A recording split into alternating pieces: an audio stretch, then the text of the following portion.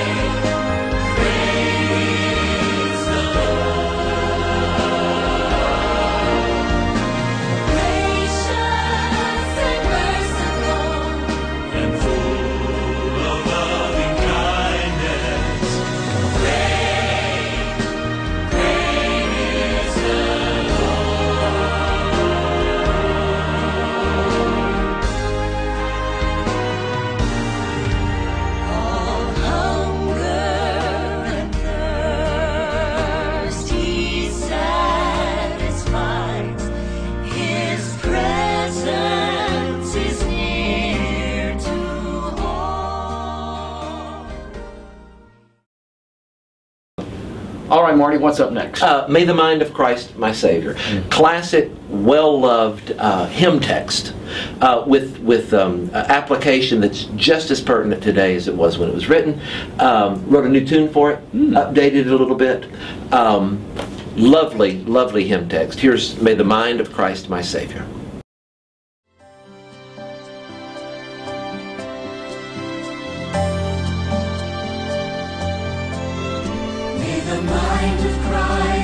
Savior, live in me from day to day. By His love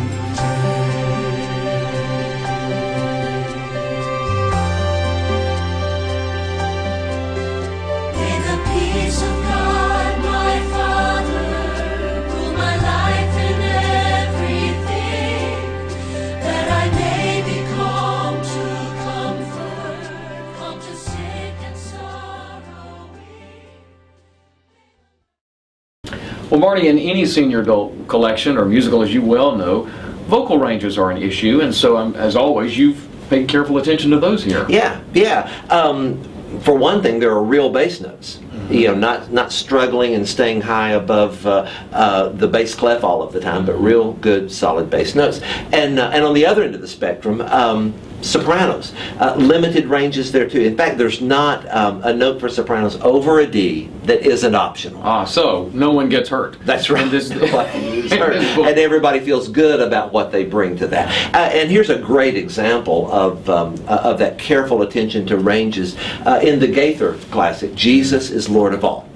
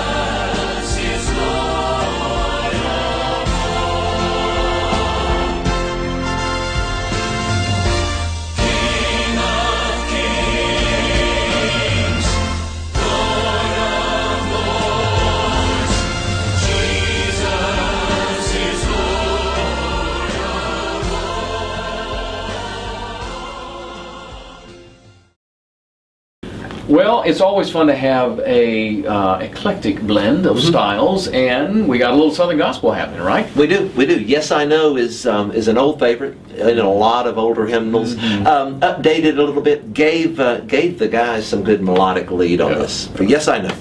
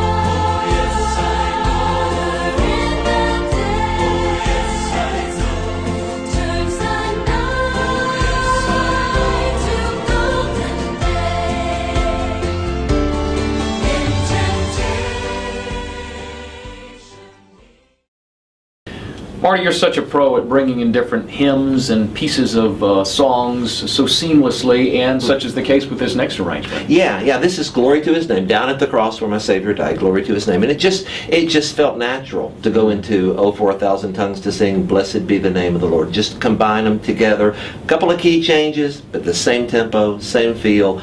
Up, bright, energetic. A lot of fun to sing.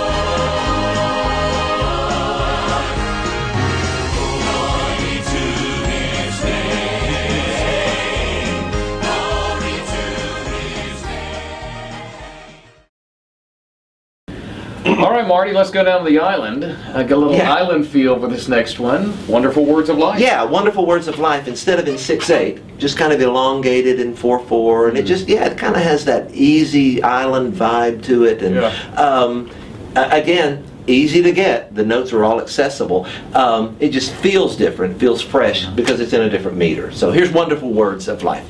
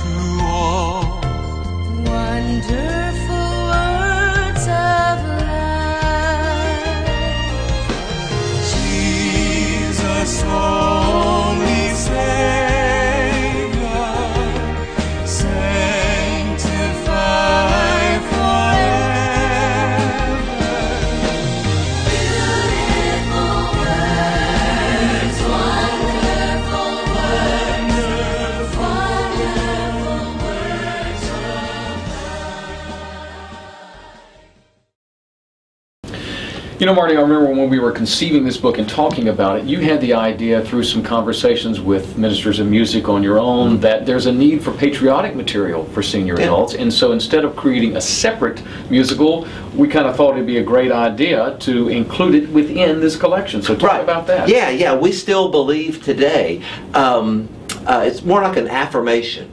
Uh, with everything that's going on in the world and, and in our country, unfortunately, uh, this is an affirmation. We still believe.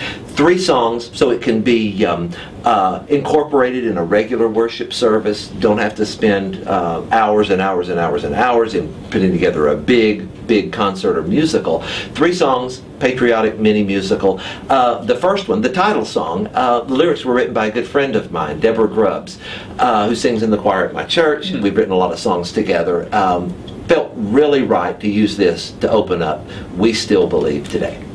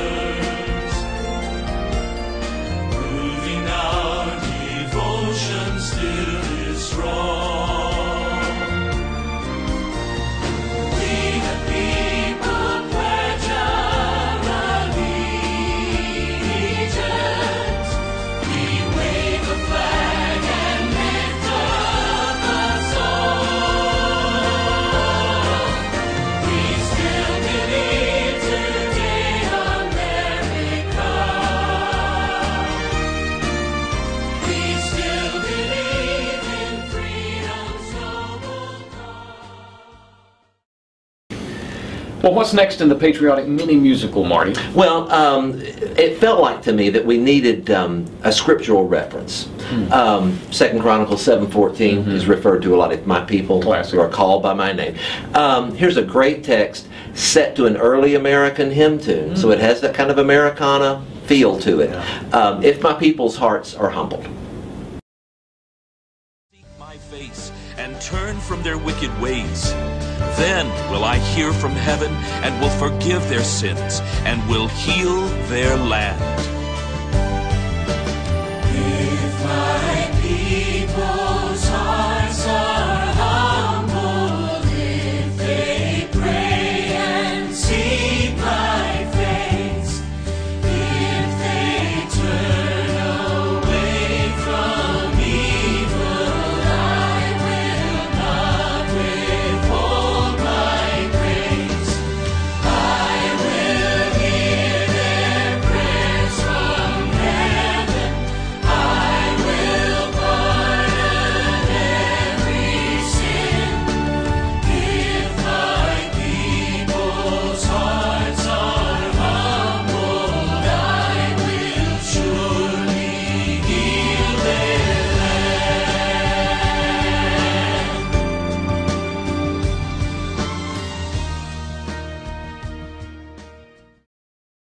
So here's the final song of the three-song mini musical, and what is that song, Marty? Uh, this is a setting of the doxology with a, with a new verse that kind of culminates the theme, uh, but it just felt right to um, to offer an expression of praise God from whom all blessings flow.